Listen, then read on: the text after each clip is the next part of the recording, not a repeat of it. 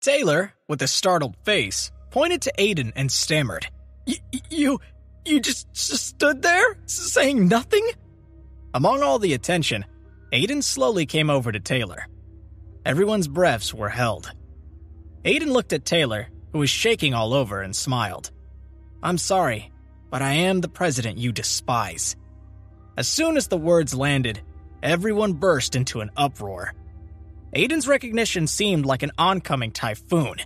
In that moment, Aiden suddenly raised many pegs in everyone's eyes. It turned out that the mysterious group president had always been around them.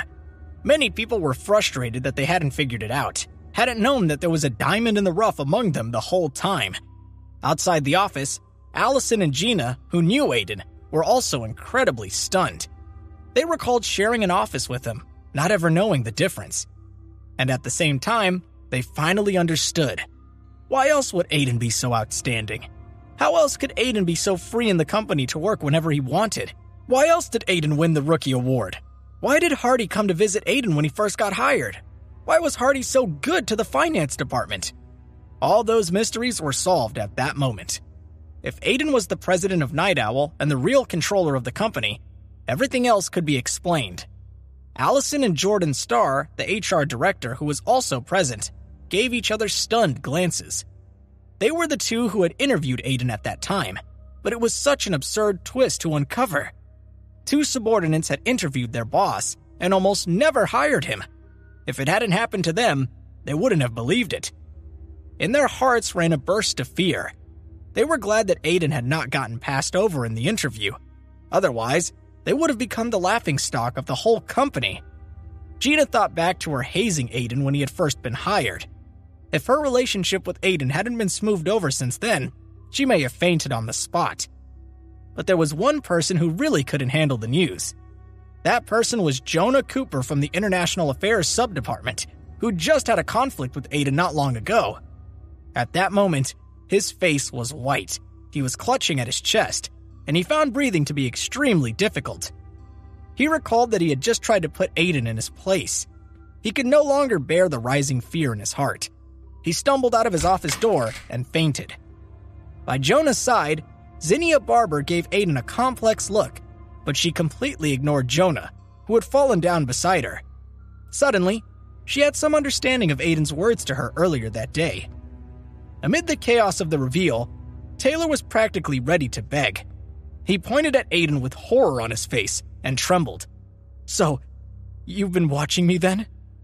Taylor recalled Aiden's performance in front of him when he had first gotten the job.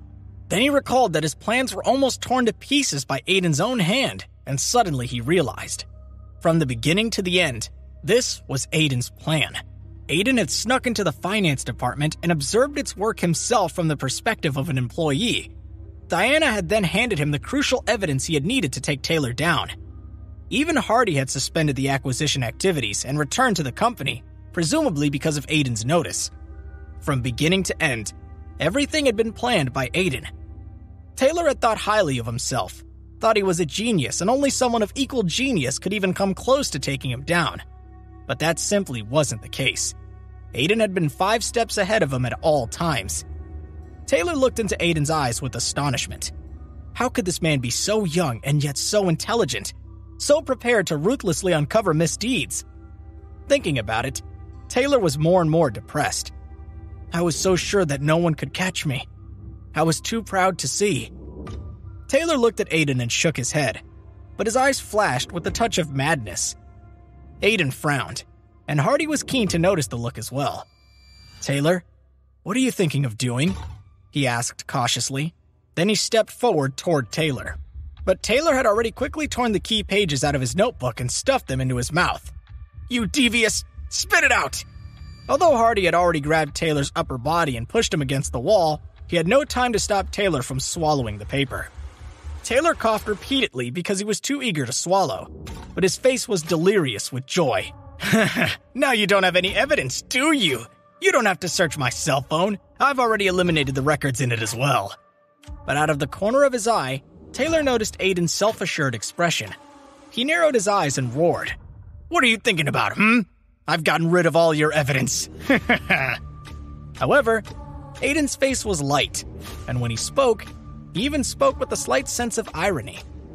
Taylor, how unprepared did you think I was? Taylor suddenly felt uneasy and said nervously, What do you mean? With Aiden's skill, it would have been easy to prevent Taylor from destroying the evidence. But the reason why he didn't act was because that, too, was part of his calculations. Aiden looked at Taylor's desperate madness and shook his head sympathetically. The book in your hand was just a copy. To Taylor's terror, he reached into his pocket and pulled out another notebook. The original was right here. Taylor's face twisted. No, you must be lying to me. He frantically struggled to rush forward and grab the notebook. But Hardy's strength could not be underestimated. Taylor couldn't shake his grip, essentially shackled to the wall and forced to watch.